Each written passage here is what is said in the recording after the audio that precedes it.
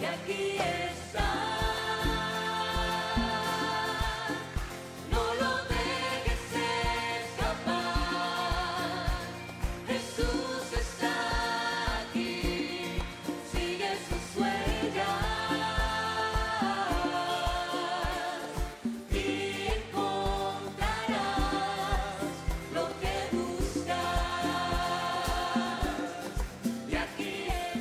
Reaviva el don que Dios puso en ti. Bienvenido a Siguiendo sus huellas.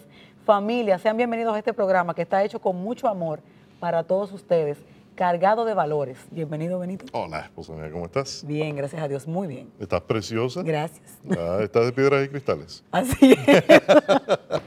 Bueno, yo voy a ver si busco un intercambio que me pongan las piedras, cosas. Estamos muy felices en Siguiendo sus huellas. Verdaderamente felices porque tenemos un tema precioso. Un tema que va a buscar llamar su entendimiento tradicional. Vamos a ver cómo analizamos las familias de las últimas décadas. Le hemos traído un ejemplo precioso, una familia que ha dicho, juntos podemos. Vamos a echar este pleito. Así es. Pero vamos también a traer una especialista, una especialista de la materia. Cómo vamos a enfocar desde la raíz lo que está pasando hoy en día, pero vamos a hacerlo en retrospectiva. Se puede hacer mucho, se puede trabajar los valores y por eso nuestro hermano César Curiel nos acompaña el día de hoy. Así es, y con nuestra Vicaría de Pastoral Familia y Vida vamos a hablar de una campaña hermosa que tienen, sobre todo de distintos valores, pero en este caso vamos a hablar de la honestidad. Así que usted no se despegue de ahí, que el programa de hoy está bellísimo y vamos a compartir una palabra relacionada con el tema del día de hoy, señores, porque es mejor agradar a Dios que a los hombres. Y por eso en este programa nos ocupamos de enseñarle valores, aunque vayan en contra totalmente de lo que la sociedad quiere decirnos que está bien. Vamos a ver la palabra que tenemos para ustedes. Y vemos el libro de Salmos en su capítulo 127. Como flechas en manos de guerrero son los hijos de la juventud. Valores es el fundamento de la familia, es lo que la sociedad necesita hoy en día. Dejemos de estar hablando tanto y buscando culpables. Fundamentemos un mejor mañana con el presente para una generación mucho más fuerte. Sigan su bella les ama y tienen mucho para usted. ¿Mm? No se vaya.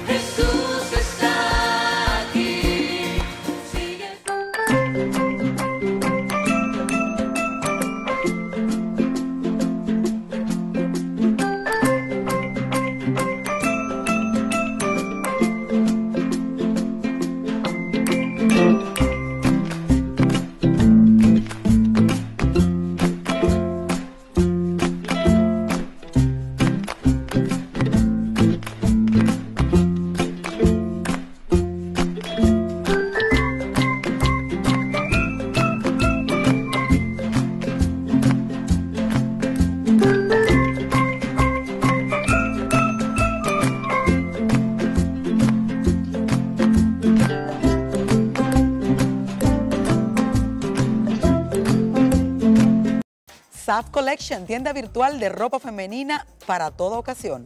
Disponemos de un showroom y un plan layaway para que elijas personalmente tus prendas favoritas, separes y pagues en cuotas. Envío a nivel nacional. Búscanos en Instagram como Collection underscore SAF y en Facebook, Twitter y Snapchat como SAF Collection o llámanos al 809-627-1995.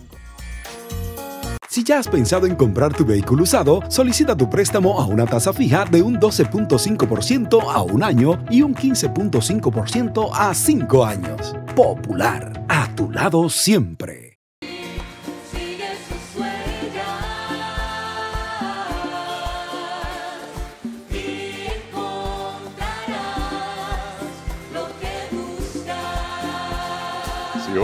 Pudiéramos pedirle algo, sería que tomara lápiz y papel, porque vamos a hacer un pequeño recuento. Vamos a hacer un pequeño recuento sobre la evolución de las familias en las últimas décadas.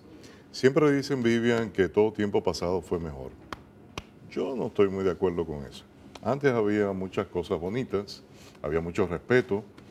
Yo nunca me atreví a hablar de tú con mis padres. Yo respetaba a mis mayores y los sigo respetando. Pero era porque me metían bien en pescozón, en el buen sentido de la palabra, hasta verbal, si yo me pasaba. Pero hoy tenemos a la licenciada Rosa Julia Martínez, que nos trae un poquito de luz sobre ese antes, ese después que estamos viviendo y cómo podemos mejorar las cosas poquito a poquito. Licenciada, gracias por estar con nosotros. Sí, gracias por la invitación, me encanta.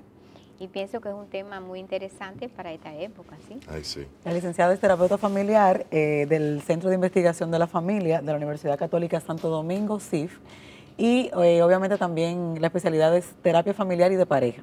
Sí, Bienvenida. gracias. Yo te voy a robar la primera pregunta. Licenciada, ¿estamos tan mal como estamos supuestamente, como tanto se ha tratado en nuestra familia de hoy en día? ¿Tanto se compara que antes no se hacía esto o se hacía aquello? Sí, estamos mal, pero es, pero es salvable. Mm, Eso es lo más importante, es salvable, porque realmente lo que pasa es que hemos avanzado en una parte, pero en otra no. Hemos avanzado, eh, bueno, la, la mujer se ha insertado en el campo laboral, sí. que era la madre la que se quedaba haciendo una diferencia, ¿verdad? La que acompañaba a los hijos, la que estaba pendiente de, de esa educación en valores, la que ordenaba todo para que el niño hiciera la tarea.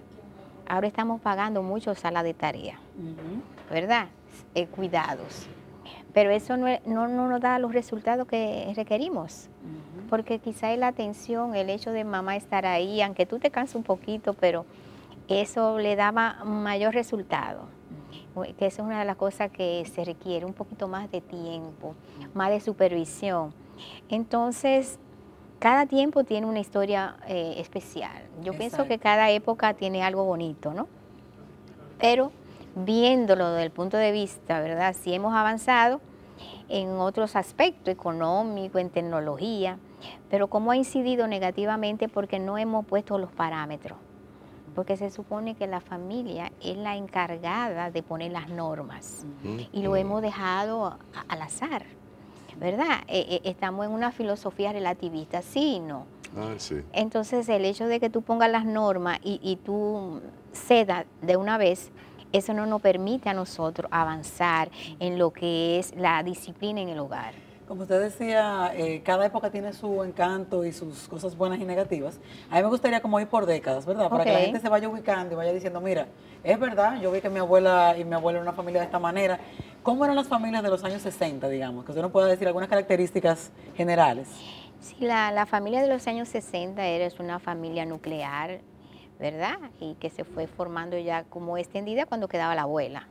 cuando quedaban los abuelos que lo cuidábamos, era la que mantenía la tradición, el árbol de Navidad, la, la, la fiesta de Navidad, todo lo que eran actividades que son tradicionales que han seguido a través de los años. Familias numerosas. Familia de 12, 13 numerosa, hijos. sí, sí.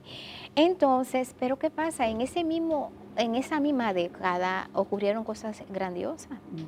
Estaba lo de Cuba, Sí. ¿verdad? La Guerra Fría, ¿verdad? La Revolución. Toda esa época, el movimiento hippie, Sí. que, que aspiraba a, a algo mágico, ¿verdad? Porque ya se estaban notando algunas situaciones que no estaban de acuerdo a nivel, ¿verdad?, eh, social. Sin embargo, esa época fue trascendente y ahí comenzaron a verse los cambios, los cambios de mentalidad, ya la mujer quería salir un poco, quería estudiar, las modas, eh, vino algo maravilloso que es la televisión. Ay, sí. Entiende que eso ayudaba a la familia a eh, entretenerse, a ver los programas, programas famosos que duraron muchos años. También, o sea, que hubo esa parte donde realmente la familia estaba unida. ¿verdad? Eh, ahorita vamos a tener una familia que vamos a decir en los 70, 80, eh, de alguna manera pues compartían de una manera que ahora no lo vemos. En los 70 y 80, ¿cómo, ¿qué evolución tiene la familia? Ya con la, con la llegada de los medios de comunicación masivos y eso. Sí, bueno, la, la- familia comenzó a tener diferencias, por ejemplo, eh, el mismo movimiento hippie trajo modas que antes no se ventilaban, ¿verdad? Que tú usabas, era muy moderno, ya esa parte tan tradicional fue cediendo. Y la mujer ya se instaló a ir a la universidad, a, a- a hacer carreras que antes no se atrevía Ujú. como era el derecho, ingeniería, ese Medicina. tipo, medicina. Eso fue algo muy, muy, muy importante. pero también el hecho de que ya eh, compartía los gastos con el hombre. Y me dijeron otro día, disculpe licenciada, que en los 70, los 80, las mujeres empezaron a fumar en público. Y yo decía, wow, qué cosa tan increíble, pero sí, tiene que ver lo que ¿Y es qué la pasaba libertad. con los hijos en ese momento cuando ya la mujer, eh, o sea, era una familia que podían tener cuatro hijos, por Sí, ejemplo? fue, comenzaron a reducir. Ustedes saben que lo de cuidaba ahí- la abuela probablemente. Sí, lo cuidaba la abuela, había esa, o un familiar cercano, hasta un vecino, había esa confianza, ese nivel de confianza y esos valores que tú podías educar, decirle, y, ah, encárgate de él, ese respeto. Sin embargo, ya ahí eh, fueron reduciéndose lo- los, los embarazos. Mm. Porque la, eh, sí, porque ya comenzaron, por ejemplo, a, a la parte laboral. Entonces, ahí vinieron los anticonceptivos, eh, el control de natalidad. Y también eh, el hecho de la parte del cuidado de los niños. También había una preocupación, había una abuela, pero ya una persona mayor. Entonces, a partir de ahí también ya se comienza a generar esa, esa situación. Yo, yo también escuché de que había una cultura de ir a misa los domingos también, con los años 70, 80. Eso era muy bien, porque todo el mundo participaba de su catequesis, ¿verdad? De los movimientos pastorales, de formación. de cristiana. formación cristiana. O sea, todo el mundo iba en familia. Y eso en parte se ha perdido. Los niños y niñas no se llevan a la iglesia, no van junto con los papás. Entonces, el adolescente hace lo que quiere. Y que él decida, ¿verdad? Que él lo- lo decida y eso, eso Lo que no... usted hablaba ahorita del dejar hacer. del dejar hacer, entonces eh, después tú le estás pidiendo y después se quieren casar eh, adecuadamente, ¿verdad? Eh, A conveniencia. a conveniencia, entonces no tienen la preparación adecuada. Ya en los 90 y 2000 eh, sigue el tema del control de natalidad y, el, y la mentalidad de vamos a tener tantos hijos, pero probablemente seguimos queriéndonos casar, ¿verdad? Un momento, un poquito ahí. ¿Cuándo comienza esta tendencia que estuvimos hablando fuera de cámara de vamos a juntarnos y vamos a ver qué pasa Sí. y que usted nos explique un poquito de causas y consecuencias de eso? Explícame, detállame eso, vamos a juntarnos. Vamos a juntarnos, o sea, vamos a compartir gastos en una casa, eh, no tenemos un compromiso de un matrimonio, eh, probablemente vamos a tener quizá un hijo o no vamos a tener hijos. O vamos a tener un perro. Vamos a tener un perrito, o sea, Sí. ¿dónde es que viene todo este cambio? Ya en los años 2010 para acá, vamos a decir. Sí, eso viene de otra cultura, eso viene de las migraciones a Europa, a Estados Unidos, donde ya el, el joven de aquí preparado quiere hacer una especialidad, se va y que ve, somos imitadores. Entonces, como ve que esos jóvenes allá eh, comparten una habitación eh, universitaria, pues se, se mudan juntas, eh, unen los gastos y deciden que no se van a casar, van a esperar un tiempo, no deciden tener hijos, a veces deciden si se casan que no van a tener. Yo he visto jóvenes ah, que han decidido que el contrato es no, no tener hijos. Casi siempre si se casan con un extranjero, porque ya eso lo ventilan, no quieren ese compromiso, porque lo de ellos es después que terminen, trabajar, disfrutar y no quieren ese compromiso. Viajar, tener buenos ahorros, Viajar. tener una buena casa. Sí, entonces, ¿qué pasa? El tiempo en la mujer para tener hijos es un tiempo, es un proceso, ¿verdad? Si lo dejamos pasar y cuando ya tú lo vienes a pensar, entonces viene el dolor, viene el duelo, la Mental y físico. y mental y físico, ¿verdad? Entonces ya no hay para dónde echar para atrás, porque eso pasa en la, cuando se mete en lo que sería ya el disfrutar, el viajar y pasa el tiempo, entonces comienza ya a madurar, piensa y, y- y yo quiero tener un hijo, pero a veces ya no se va a poder. ¿Y qué tan común es esto aquí en nuestro país actualmente? Aquí se está dando eh, un poco más que yo nunca pensé que eso se iba a dar, pero ya tú lo escuchas en los trabajos, en las universidades, que vive con su novio, o sea, para ellos está común porque ya vienen en esos procesos de, de otros países. Digamos. Ajá, y ya los papás no pueden porque ya dicen, ellos trabajan, yo no puedo, ¿verdad? Pero yo pienso que cuando tú tienes una familia, tú tienes una pareja, o sea, tú vienes de un matrimonio, yo pienso que eso hay que insistir.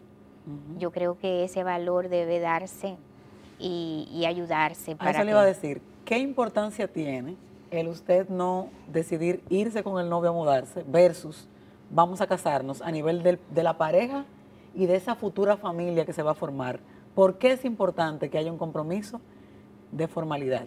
Aquí, obviamente, somos un programa católico y lo vamos a motivar a que sea por la iglesia si usted está consciente a lo que va. Pero de alguna manera que haya un compromiso. Claro, tú lo dijiste, es el compromiso. Una persona que se une así no tiene compromiso ninguno, no tiene responsabilidad. Inclusive hay una cosa, tú lo tuyo y yo lo mío. O sea, eh, ahí no hay compromiso de ningún tipo. Ahí lo que se está compartiendo es un espacio, Conviviendo. conviviendo, un espacio, porque tú pagas esto, tú pagas esto. O sea, se vuelve algo tan tonto, porque imagínense, eso no es una relación. Entonces están equivocados los muchachos. Al final, eh, tú te desgastas y te das cuenta que qué hice con mi vida, ¿no? Porque entonces si él toma la decisión, tal vez se casa con otra, sí. que es más inteligente. Entonces a veces pensamos que somos inteligentes y no lo somos. Entonces no hay un compromiso real. No existe. Esa relación está basada en nada. Entonces eso perjudica. A la hora de tú querer tener un hijo, la persona no está comprometida, porque una de las cosas que te dice, yo no quería eso. Entonces ahí te abusan de ti porque también te inciten en que haga algo indebido, inadecuado. Entonces yo pienso que eh, es importante eh, una relación con compromiso. Licenciada Martínez, yo estaba utilizando un término que era el de involución, Sí. pero en el mal sentido. Era involución acá, en lo que estamos hablando de la familia, cómo ha ido avanzando, es echar para atrás, pero un retroceso negativo. Es dejar las cosas buenas por colonar nuevas actitudes, nuevas formas, nuevas tendencias, más a lo material, a la comodidad Exacto. afectiva, más a tú y yo estamos compartiendo por conveniencia tal vez, y si esto funciona, Vamos a futuro vamos tal vez a dar un paso. ¿Cómo podemos nosotros crear la conciencia de que eso que vivimos en décadas atrás, nosotros no somos tan, tan viejos, nosotros somos gente joven, Claro nosotros somos sí. matrimonio joven, Así es. pero como que estamos chapados a la antigua, porque hemos visto, mira, vamos a hacer una cosita. Yo vi un video que mi señora me dio en estos días de cómo las familias tienen que aceptar lo que es yo destapar mi preferencia sexual. Eso es algo que inclusive los dominicanos lo estamos viendo ahora. Ujú. A Una campañita que están haciendo. Por respeto, yo no me atrevía a hacer eso, a yo declarar que yo tengo el gusto por alguien del mismo sexo. Había como un nivel de respeto tan grande, tan marcado, que los hijos veían a los padres como ese ser que le debo respeto infinito que me trajo al mundo. Y a eso refiere mi pregunta. ¿Cómo yo puedo volver a mis raíces de esto es lo bueno, esto es lo malo, y esta es mi familia y la debo cuidar, la debo proteger, y la debo, debo poner a Dios en el medio? Claro, tú sabes que los hijos son imitadores de nosotros. Nosotros somos el ejemplo. Ha dado en el clavo. Entonces, si la, si la pareja, la familia o esos papás se desvinculan de la realidad, por favor, es difícil. No sabe lo que está pasando con ese muchacho, quiénes son sus no, amigos, a dónde va. no sabe ¿Qué nada. está haciendo? Me decía un papá, no, cuando llegaron los vipers, ah, no, yo lo vipeo. y el muchacho, ¿sabe qué hacía? Ahí en la Lincoln, un niño de 15 años, eh, yo era copilote de uno. De 15 años. Ajá. Entonces, esa es la idea. La Eso idea los 90, ¿eh? Ajá. Entonces, como es, Eh, pero no, pero ahora es peor. Sí, ahora se... Ahora es peor. Entonces, pienso que eh, lo que tú decías, sí, se puede, pero con una familia que, unos padres que decidan seguir esa tradición. En, en familias con tradición y que le dan seguimiento a sus hijos, eh, le va Difícil, mejor. difícilmente muy pasan difícil, cosas así. muy difícil. Eh, hemos dejado algunos temas eh, sobre la mesa, por ejemplo, el tema del embarazo en adolescentes, Mm. el tema de la chica que usted nos estuvo comentando, de las chicas que, que probablemente son hijas de madres solteras y respetan a sus madres. Y vamos a tener que traerla nuevamente. Yo definitivamente me quedo con eso enganchado ahí porque Muy bien. eh, usted como, como terapeuta familiar pues ve muchos casos sí. eh, que lamentablemente lo que vemos en los periódicos que ocurre de los feminicidios, de los, de los adultos que se llevan jovencitas, que violaciones y todo eso, no es, no es más que producto de lo que hemos sembrado. Sí. Así Entonces es. vamos a comenzar a sembrar buenas semillas para que tengamos buenos Mira, frutos. una cosita, pregúntele, a, escríbanos inclusive, siguiendo sus huellas, Y pregunte la cantidad de familias que dicen, no, yo no quiero pegarme a eso lo tradicional. ¿Cuántas muchachitas quedan embarazadas o inclusive hijos embarazan a otra niña porque no, quieren ciertos niveles de libertad y los padres no agarraron y metieron buen, buen agarre en esos muchachos? No, no, no. eh, Eso es lo que está pasando. Si el padre no asume, ¿verdad? Y se desvincula y hace a- a- a- actividades así inadecuadas, pues ya. Bueno, muchísimas gracias, Sí, licenciada, de verdad muchas que sí. gracias. Chao, Martínez. usted continúe consiguiendo sus sueños.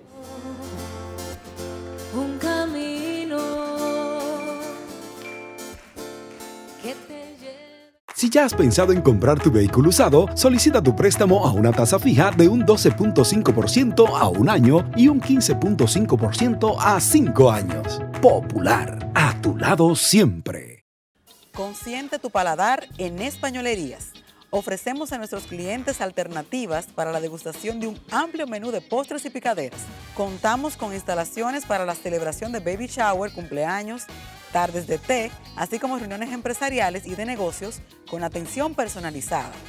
Suplimos postres y servicios de catering con una amplia variedad de picaderas saladas para toda ocasión. Visítanos en la Amelia Francasi número 19, Los Bravos, 809-566-5315.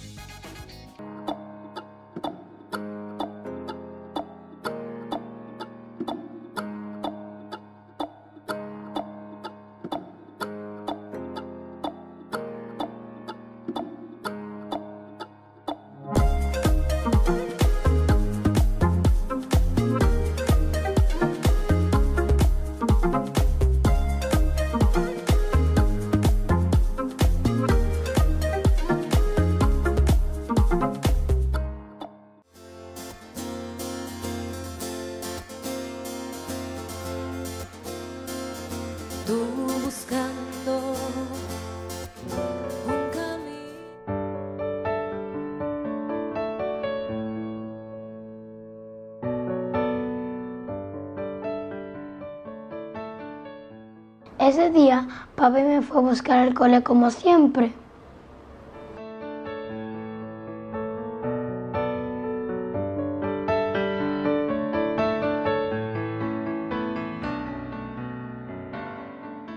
Ese día yo aprendí esa palabra, la que la profe puso en la pizarra, y dijo que si la respondíamos en el diccionario, entonces ni íbamos a ganar 10 puntos. Yo me quedé pensando, pensando, y dije, ah, tengo una idea. Le escribí en mi cuaderno. A la profe me dio una nota de que me respondí bien la pregunta. Mi papá creyó que yo me había portado mal, pero no, había respondido bien la pregunta. Y con inmensa alegría recibimos a nuestro hermano César Curiel de la Vicaría Episcopal Familia y Vida. ¿Mm? Exacto. César, bienvenido. Gracias, una alegría enorme estar nuevamente por aquí, por este mi programa, siguiendo tus huellas. Así mismo, la huella de Jesús. Eh, un gusto, de verdad que sí. ¿Mm? ¿Qué nos trae hoy esa vicaría tan especial, lo que es familia y vida en nuestra República Dominicana, que está empujando para las cosas buenas? Bueno, tenemos una campaña ahora interesantísima, una campaña que se llama Educando la Familia. Mm. Eh, creemos que las cosas pueden cambiar a partir de que nosotros eh, eduquemos a nuestras familias. Y la Vicaría se ha propuesto hacer una serie de, de videos y hemos empezado con este video de, de valores, ¿verdad? Video Sí. de valores y hemos empezado con este de la honestidad. Eh, tanto que se habla de eso, de toda esa corrupción que hay en este país, que está pasando, no solamente aquí, sino a nivel mundial, eh, pero a nosotros nos compete República Dominicana. Entonces nosotros queremos eh, llevar este mensaje de educar a la familia en, en esa, en ese valor tan importante que es la honestidad. Mira, César, estuvimos viendo detrás de cámara lo que es el término de la honestidad, lo que es el valor de la honestidad. Exacto. Para ti, ¿qué es la honestidad? como dice ese niño que, que hemos visto, ¿verdad? Que es un actor de este, de este video, él dice, es no tomar eh, lo que no te corresponde, lo que no es tuyo, no tomarlo. Eso, si eso no es tuyo, tú no lo puedes tomar.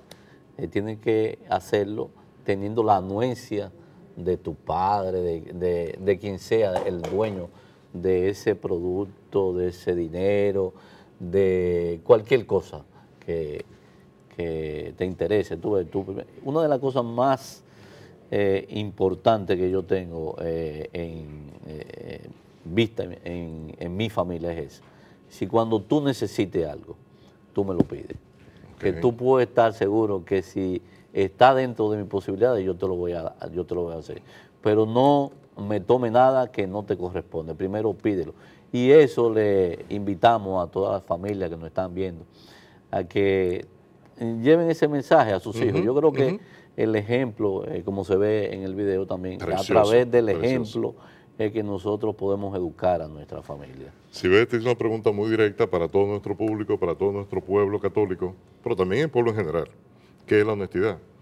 La honestidad que hoy nos falta viene por una falta de la familia, valga la redundancia. Eh, Entiendo que sí, entiendo que eh, desde, desde la familia es donde se educa. Eh, en el colegio, en la escuela, lo que te van a enseñar es matemática, lo que te van a enseñar es literatura, lo que te van a enseñar Las es física, ciencias. la ciencia, ¿verdad? Pero en la familia te van a educar en los valores, que son los valores cristianos y humanos fundamentales que nos hacen mejores familias. A mí realmente me ha pegado mucho ese video porque hoy que tenemos un tema muy particular que es cómo la familia ha evolucionado, yo en mi corazón veo que ha involucionado, ha echado para atrás, ha ido en retroceso. Hoy vemos tantas familias rotas porque el padre, la madre o un hijo han cometido una falta gravísima a los ojos del mundo y ha dañado realmente lo que es la reputación, la imagen. ¿Cuáles Mira, versiones tenemos? Sí, César. Eh, Benito, eh, yo creo que eso ha pasado en todos los tiempos. Lo que pasa ahora es que tenemos más eh, propaganda, ahora tenemos eh, más medios donde eh, la- nosotros nos enteramos más Para dar a conocer. Para dar a conocer cualquier cosa. Ahora te graban eh, cualquier situación que esté pasando y, y nos enteramos en segundos de, de las situaciones. Pero eso siempre ha pasado en la familia. Y yo soy de lo que digo que no solamente eh, hay que ver las cosas malas, también hay muchas familias que son sólidas, que están trabajando, sí. que son eh, ejemplo, ejemplo ejemplo para sus hijos. Y, y- y yo no quiero hablar de otra, yo quiero hablar de la mía. Sí, es decir, en la mía yo te puedo decir, eh, los hijos míos, eh, Jessica cuando se iba a casar le decía a la muchacha que nos ayudan, Ajá. cuando yo me case yo quiero tener un matrimonio como el de mi papá y mi mamá. Uy, qué lindo. Entonces, eso está viendo un ejemplo, está viendo una pareja que dialoga, una pareja que se entrega, una pareja que se ayuda, que se complementan el último con el uno con el otro, porque la verdad es que eh, lo que a mí me falta, yo se lo puedo dar a Fanny, y lo que a ella le falta, ella me lo da a mí. Y por eso es la complementariedad en el matrimonio. Además de la familia, ¿quiénes están apoyando este hermoso proyecto de concientización de lo que debe ser la sociedad? Bueno, ustedes, eh, todos los medios de comunicación, estamos tratando de llegar a través de las redes sociales, que es un medio poderosísimo, Muy poderosa.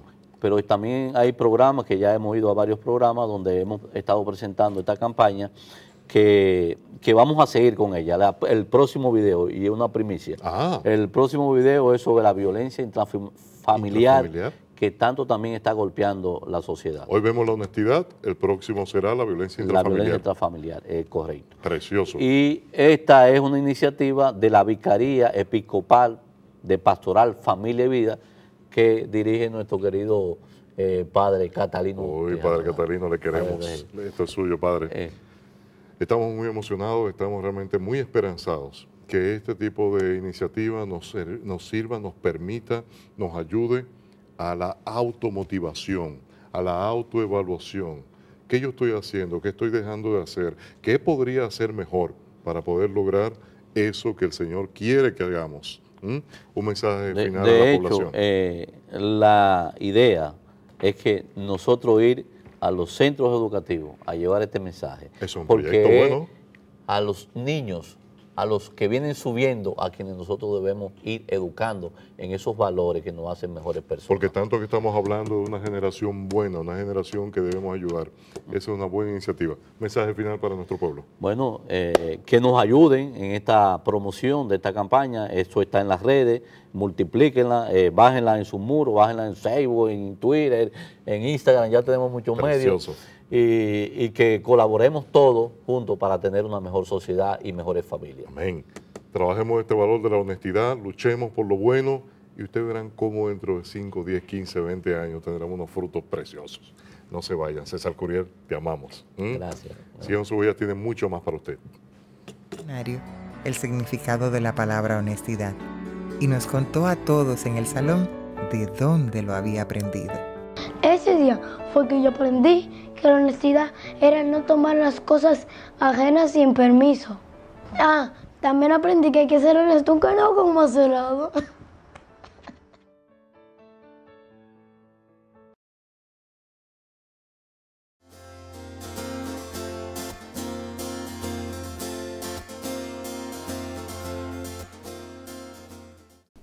La única tienda con verdaderas tallas grandes para la dama y el caballero que está en sobrepeso. Estamos dirigidos a todo tipo de bolsillos y a todas las edades. Visítanos, estamos en nuestra única tienda en Santo Domingo, la avenida 27 de febrero número 80, esquina Ortega y Gasset, allí mismo, frente al Centro Olímpico. O llámanos al 809-683-0644. Nos puedes encontrar en nuestras redes, Facebook, página Twitter.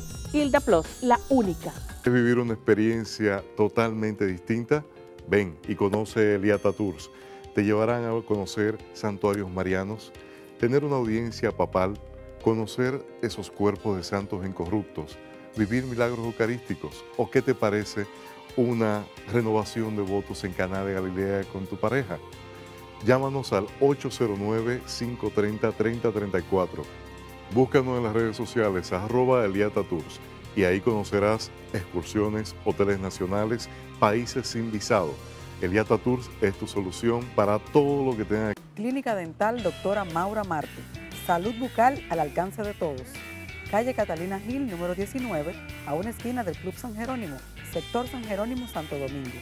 Todas las especialidades odontológicas. Aceptamos seguros médicos. 809-262-1818. Clínica Dental Doctora Maura Marte. Salud bucal al alcance de todos. Si buscas un lugar para celebraciones, fiestas, eventos y recepciones con amplios parqueos, en la Asociación de Mayoristas tenemos todo tipo de salones con aire acondicionado y capacidad de hasta 800 personas, así como salón multiusos para conferencias, cumpleaños, eventos sociales y actividades en general. Estamos ubicados en la avenida 27 de febrero, esquina Doctor de Filló, con los teléfonos 809-565-6519. La Asociación de Mayoristas, tu mejor elección. Que para lucir siempre hermosa debes visitar a Esther Salón. Ofrecemos servicios de belleza en un ambiente especialmente diseñado para tu bienestar. Ven y visítanos en la calle Máximo Avilés Blonda, número 16, esquina Gustavo Mejía Ricard, en Sánchez Julieta. Contáctanos al teléfono 809-472-3180. Esther Salón. Próximamente nuestras huellas estarán en Yao. Así es, este jueves 19 de julio a las 7 de la noche, todo el equipo de Siguiendo sus Huellas te esperamos allá. Es una promoción especial donde parte de las ventas serán profundo para nuestro programa. ¿Y cómo nos apoyas? Comprando un bono de mil pesos estarás participando con el apoyo de Siguiendo sus Huellas. Llámanos a nuestra oficina 809-620-4443. Te lo podemos llevar a donde sea en la ciudad capital. Dios te bendiga. ¿Mm? Esperamos por tu apoyo. Casa de reunión para adultos, abierto a hombres y mujeres mayor de 21 años, todos los jueves a las 7.30 de la noche en el Salón Parroquial. Invita la parroquia El Buen Pastor.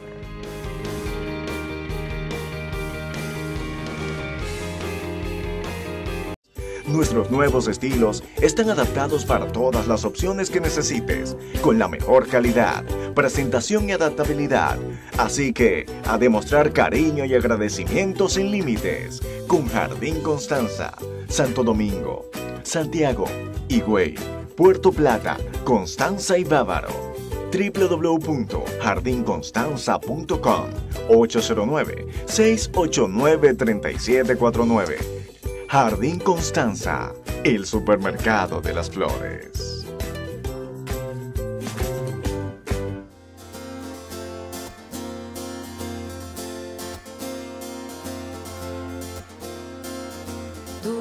Y aquí estamos felices con la casa llena, señores, con una familia extendida. Como centro tenemos a la familia de la Rosa Vázquez, tenemos a don Juan Carlos y a doña Altagracia, acompañado de dos de sus hijos, una nuera, una hermana de, de doña Altagracia, doña Margarita Vázquez, porque queremos contarles una historia muy hermosa de cómo el Señor trabaja en las familias cuando abrimos nuestro corazón y cuando estamos dispuestos a darnos. Bienvenidos, familia hermosa. Muchas gracias. Buenas noches, Gracias. gracias. Bienvenidos. En verdad felices porque, óyeme, cuando vemos que la mano de papá Dios trabaja, y ustedes verán por qué. Cuando la familia se mantiene unida, echa para adelante, cualquier circunstancia las rompen, modifican y pueden crecer.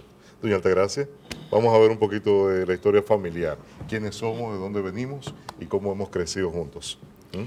Eh, sí, bueno, eso de que cuando uno está unido, eh, uno logra eh, solucionar las cosas que a veces le parecen tan difíciles.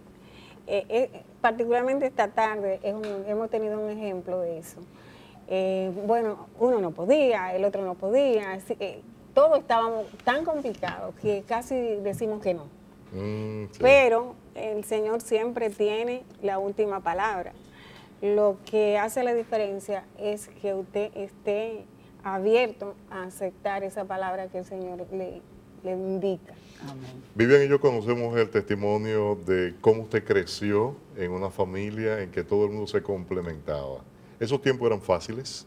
¿Eran tiempos sencillos en que todo todo era amoroso y siempre estaba la comida en la mesa y la ropa para ir a la escuela y todo siempre abundaba? ¿Cómo eran? De pequeña fue así en mi vida. Eh, tuve mi papá y mi mamá, que fueron eh, una pareja de niños que quedaron huérfanos pequeños. Mi mamá quedó huérfana de tres años y mi papá a los 12 años había quedado huérfano dos veces. Wow. O sea que fue eh, una situación muy particular la de ellos. Eh, cuando ellos se casan, ¿verdad? Eh, nosotros somos nueve hermanos. Y la razón de que cada vez que uno, y la razón de yo haber sido hijos solo, pequeños, eh, mi mamá criada por su papá que no se volvió a casar más, eh, cada vez que uno de nosotros nacía era una alegría para ellos. Por eso, eh, aunque la gente se pone la mano en la cabeza y dice, nueve hermanos, ay, cuántos muchachos, para mi mamá y mi papá era una felicidad. Y para nosotros los hermanos, nos sentíamos felices cuando llegaba un hermanito nuevo, aunque fuéramos tantos. bueno, entonces, eh, como le decía, de pequeña tuvimos a mi papá y a mi mamá y la vida era más fácil. Pero luego mi papá murió. Y ¿Qué edad usted tenía cuando falleció su padre? eh, 13 años. ¿Y andaban de qué edad a qué edad los Sí, hermanos suyos? estaban más pequeños todos. Todos, Eh, era de las mayores. éramos las dos mayores y ya nuestra hermana mayor se había casado. Doña Margarita, que la tenemos aquí, y doña Sí, Altagracia. También. Ustedes eran de las dos mayores y ya luego Exacto. una mayor se había casado y luego los otros seis. Exacto. Entonces, eh, bueno, mi mamá nunca había trabajado, como ustedes podrán saber, era criar niños y estar en el hogar y eso fue una situación muy difícil para nosotros. Entonces comenzamos a hacer los trabajos que las edades nos permitían. Así fuimos creciendo eh, prácticamente uno con otros, eh, nos complementábamos lo más grande y eso. Y llevábamos a la casa el producto de lo que eh, ganábamos, íbamos a la escuela, mi mamá nunca permitió que dejáramos de ir a la escuela, en las condiciones que fueran, teníamos que ir. Y eran tiempos difíciles, pero era tan armonioso el hogar que uno no sentía que tenía una carga tan pesada. Y, así, bueno, pues los hermanos más pequeños entonces tuvieron quizá mejor eh, oportunidades que nosotras, las más grandes, porque nosotros los asistíamos y, y nada, todos fuimos a la universidad. Yo le voy a Todos, pedir. todos que- son graduados universitarios. No todos nos graduamos, algunos no terminaron, pero todos fuimos. Y se creo que dos. se van. no sé. Yo le voy a pedir que usted le diga a nuestro pueblo de intimidad que Vivian y yo compartimos con usted. Usted nos compartió. ¿Cómo fue su instrucción primaria en la escuela? Cuando usted iba con su hermana. Con Margot. Porque hoy en día los muchachos, los jovencitos que van creciendo, ay, que me falta esto, me falta lo otro, no voy para la escuela. Me falta un portamina de Me falta color un rosado. portamina, una cosita de Sí. Bueno, eh, Margot y yo teníamos un uniforme. Y yo iba en la mañana y Margot iba en la noche a la escuela. Íbamos con el mismo uniforme. Pero no solo que íbamos con ese solo uniforme, que tanto ella como yo ganábamos premios por los uniformes más limpios. Wow. Más, nosotras teníamos, eran unos tachones an- anchos que se usaban y uno tenía mucho cuidado para sentarse y para cuidar la ropa para que el otro fuera a la otra tanda. Mi nombre es Brenda y yo pertenezco a la familia de Mamá María. Ah, nosotros vivimos en Naples, yo vivo junto a mi esposo Wilson, mi niña Bill y mi niño Nicolás. Y hoy yo les quiero hablar sobre lo que es pertenecer a la familia de Mamá María. Eh, para mí, ella fue un ejemplo de solidaridad, tratando a todas las personas que llegaban a ella con igual respeto, eh, con mucho cariño y siempre pensando en las cualidades de las personas. Ella me enseñó a ser tolerante con los demás, aun y cuando ellos tuvieran un punto de vista diferente al mío. Eh, yo he aprendido mucho sobre ah, la forma en que yo me conduzco en la actualidad a través de los ejemplos que ella me dio de superarse y de querer a los demás. Wow. Entonces, usted dijo algo muy importante antes de comenzar a hablar con el resto de la familia. Usted decía que todo lo que producían los hermanos, vamos a suponer, yo cumplí 18 años, conseguí mi trabajito, mi trabajito mío con esfuerzo, ¿verdad? Pero ese dinero no era mío. Yo lo llevaba a lo que es el patrimonio familiar Así y ahí se distribuía según las necesidades. Actualmente, ¿eso se sigue dando? ¿Cómo usted ha podido transmitir algo de eso, por lo menos en su familia? Todo.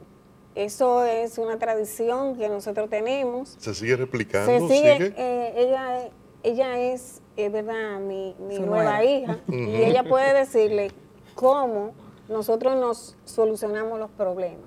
O sea, eh, en mi casa no hay nadie que no tiene carro, no hay nadie que no tiene dinero, no hay nadie que no puede llegar hasta aquí, porque el que tiene es el que aporta. Mi nombre es Amalia. Pertenecer a la familia de Mamá María es motivo de gran satisfacción y orgullo para mí, ya que en nuestra familia se inculcan valores importantes para el desarrollo de nosotros como seres humanos y para la sociedad. Nos inculcó mamá siempre el amor a Dios y el amor al prójimo. El amor al prójimo porque con este no le hacemos daño a nadie. Eh, tenemos el respeto, tenemos solidaridad, tenemos paciencia, tenemos eh, humildad, aceptando las condiciones de los otros, las situaciones. Con esos valores ya no se necesita más nada. Por eso no hay cosa más satisfactoria que ser familia, que ser miembro de la familia de Mamá María. A mucha honra. Cuando éramos los hermanos que estábamos en la casa, eh, yo era la más sabia. me, me- me entregaban el dinero y entonces yo le decía, ¿cuánto, ¿cuánto es el pasaje que tú necesitas? Tanto, esos son suyos. ¿Cuánto es lo que usted necesita? Tanto. Eh, yo tengo una sobrina que vive en los Estados Unidos y ella me decía, tía, yo siempre la veía, yo nunca casi como que me sentía como obligada a darle nada, porque yo lo veía como siempre como tan autosuficiente, que yo, o sea, como que no tenía, no tenía como esa obligación de dar, porque aún en las situaciones más difíciles, yo pudiera decirle que más tarde, cuando me iba a casar, murió una de mis hermanas y la enterraron con mi traje de novia. Wow. O sea, el que yo me iba a poner se lo pusieron a ella. Me, me gustaría escuchar a don Juan Carlos. ¿Qué tiempo tiene A de don ca- Juan. Eh, don- a don Juan. Perdón. Juan Carlos Que es Juan Carlos es el hijo. Es el Don heredero, Rafael, ¿eh? perdón. Don Juan Rafael, eh, cuéntenme una cosa. ¿Qué tiempo tienen de casado? Y cuéntanos de cómo usted llega a esta familia y ve este panorama. Bueno. ¿Cómo usted se integra en esta forma de, de Una convivencia, digamos? muy hermosa, con la cual nosotros llevamos casados 33 años. la edad de Jesucristo, como dicen. Y Pero no por los padecimientos es- y nada por el estilo. Es una edad bendita, Ah. eso es lo que hay que decir.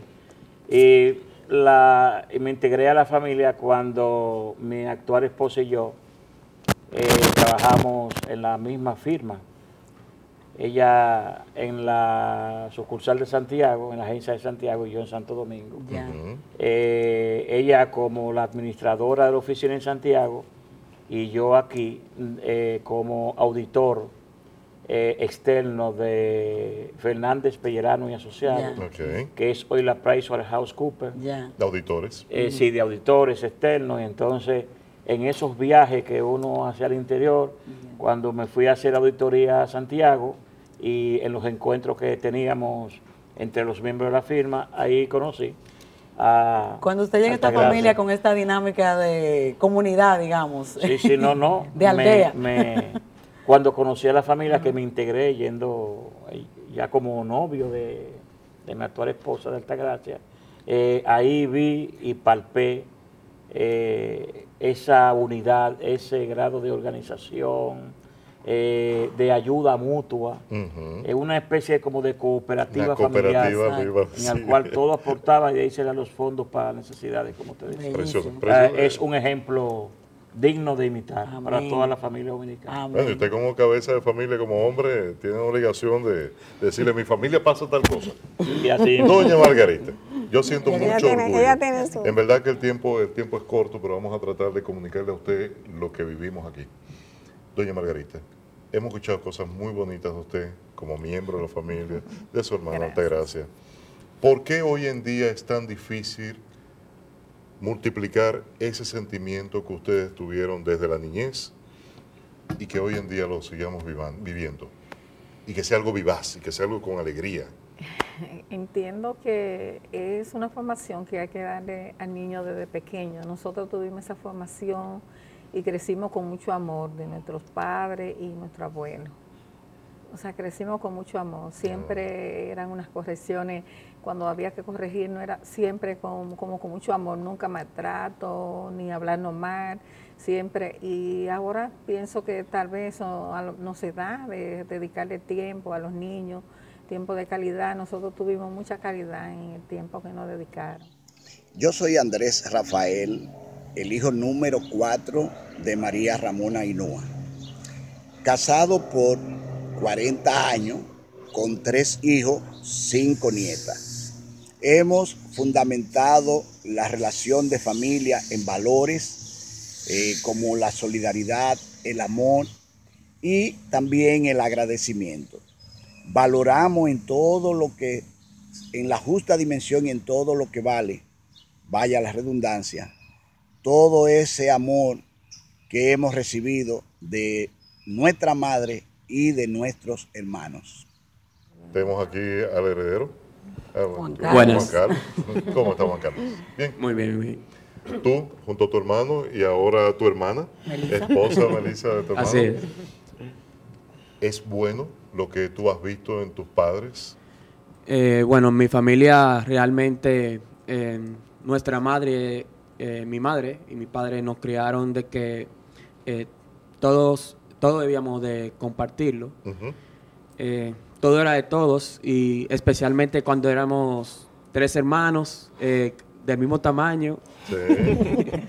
y, y gracias a Dios todos lo compartimos y, y nada, Pero, o sea, nada faltó no en la diga que casa. todo lo compartimos. ¿Se disfruta compartir?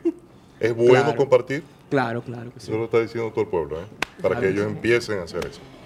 Tenemos en el día de hoy, si nos está viendo en domingo, un aniversario de boda, señores, aquí sentados. Ah, y se trata de, de los, de, uno de los hijos de, de doña Altagracia y de don Juan. Felicidades a Yamelisa Un y a Juan. un año felizmente casado. En su primer añito de casado lo están celebrando aquí en Siguiendo sus Huellas y dando testimonio de lo que el Señor está haciendo en ellos como familia. Cuéntenos ustedes como familia, deciden casarse y entonces cómo toman la, la noticia. ¿Cómo, ¿Ustedes se casaron por, por la iglesia? Claro. Sí. Cuéntenos un poquito de esa decisión como jóvenes, porque precisamente hoy hemos estado hablando sobre esa situación, o sea, de cómo los jóvenes no, no buscan el matrimonio.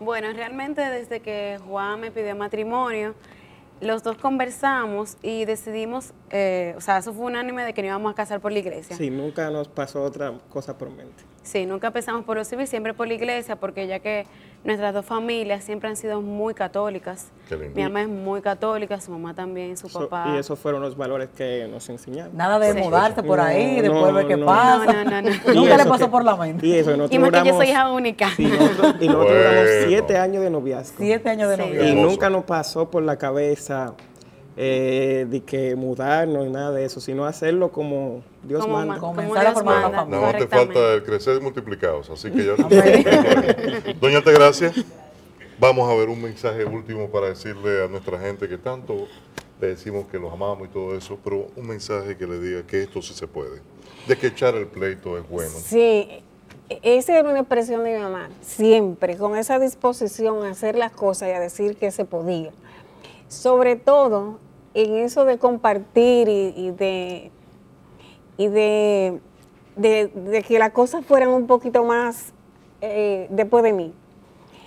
Que ella decía que cómo era posible si un pajarito abría la sala para entrar sus, sus polluelos ahí abajo, como uno como persona y con capacidad de pensar no lo podía hacer. Amén. O sea que eh, mm, siempre tenía una expresión, aquí nadie puede decir que las cosas no alcanzan, se comparten. Amén. Entonces Y- nos, Sí, por favor. nosotros, en nuestra familia también, hemos seguido con, con esa tradición, imagínense.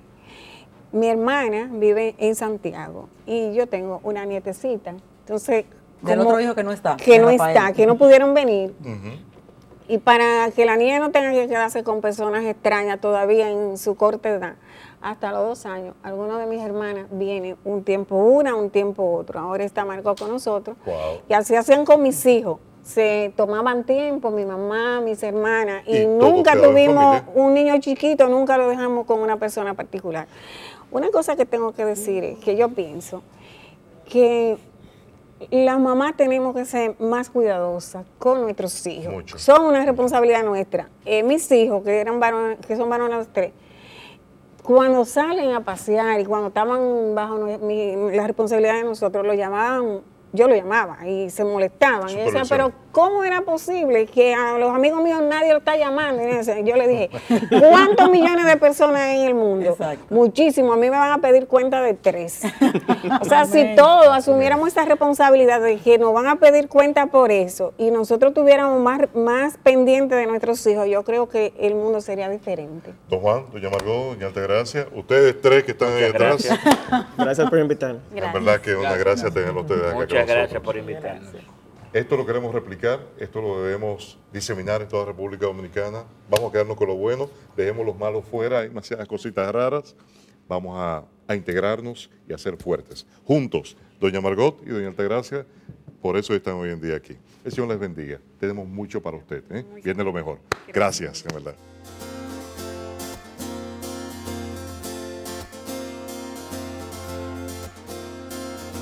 tú buscando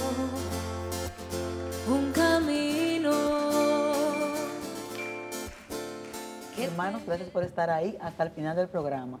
Estamos en el segmento Escúchanos, Señor. Y te invito a que llames a los miembros de tu familia para que oremos unidos por todas esas situaciones que tienes en tu corazón, por todas las que saben que pasan en tu familia, que pasan en tu familia, que le pasan a tus vecinos, las que ves en las redes, las que te llegan por WhatsApp. Vamos a orar por todas las personas que necesitan en este momento el auxilio de Dios, el auxilio de Jesucristo, que es el mismo ayer, hoy y siempre. Y mientras te preparas para orar, yo quiero invitarte a que seas parte de Siguiendo sus Huellas. Escribe al WhatsApp 809-620-4443. Allí nos puedes enviar peticiones de oración, al igual que lo puedes hacer en nuestras redes, pero sobre todo puedes hacerte amigo y colaborador de Siguiendo sus Huellas. A partir de 100 pesos en adelante, de manera mensual, puede depositar en nuestras cuentas, también puede entrar a nuestro, al PayPal, escribir Fundación Siguiendo sus Huellas y hacer aportes directamente allí. O también eh, puedes entrar a nuestra página siguiendo sus y allí ves todas nuestras redes. Estamos en Instagram, en Facebook, estamos en Twitter y estamos también con un canal de YouTube donde subimos programas anteriores. Así que sé parte de Siguiendo sus Huellas, síguenos durante toda la semana y aporta a lo que es la evangelización a través de nuestro amigo, nuestra red de amigos y colaboradores. Yo te recuerdo que este jueves 19, O sea, ya estamos prácticamente a una semanita. Tienes una cita con nosotros en Yao de Naco, que está allí en la Fran Félix Miranda, a partir de las 7 de la noche. Es jueves. Si eres estudiante universitario, invita a tus amigos para que vayan allá a cenar ese día. Tu familia, vamos todos a compartir una noche muy divertida allá en Yao, porque parte de los beneficios que se vendan allí van a ser para siguiendo sus huellas para continuar con la evangelización. Llama igual al 809-620-4443 para más detalles y para comprar unos bonos que tenemos y así ya vas ayudándonos, ya llegas con tu, con tu bono, hay de mil y hay de 500 pesos. Así que en este momento vamos a ponernos en actitud de oración. Si quieres te pones de rodillas, vamos a cer- a cerrar nuestros ojos y orar de esta manera. Señor, esta tarde yo quiero hacerte una petición muy especial y lo hago con mi corazón entristecido eh, por tantas personas que no te conocen, tantas personas que tienen depresión y no tienen alegría de vivir. Lo viven porque no te conocen. Quien no te, quien no te conoce está penado, eh, está en dificultades y todas las cosas se le presentan muy difíciles. Señor, llega a esos corazones y sánalo. Tú lo has dicho que viniste a sanar los que estaban enfermos. Eh, llega a los hospitales, trata a esa persona que están enfermos, que te necesitan. Eh, muchas personas, Señor, que no solo es su cuerpo que está enfermo, sino su alma. Llega hasta ellos como un bálsamo. Cúralo, alégralo, hazlo sentir como un hijo privilegiado tuyo y dale mucha paz. Porque eso es lo que necesitan, Señor, más que medicina material, lo que te necesitan es a ti. En el nombre de tu Hijo te lo pido, Señor. Gracias, Señor Jesús. Gracias, Señor. Gracias a ti por estar ahí hasta el final del programa nuevamente. Te invito a que si te ha gustado el programa del día de hoy, riegues la voz. El programa sale al aire cinco veces a la semana. Telesistema, RNN, La Voz de María y Televida. Asiste a la Eucaristía en familia este y cada domingo y si puedes, todos los días de la semana. Que el Señor te bendiga y que tengas una semana muy feliz.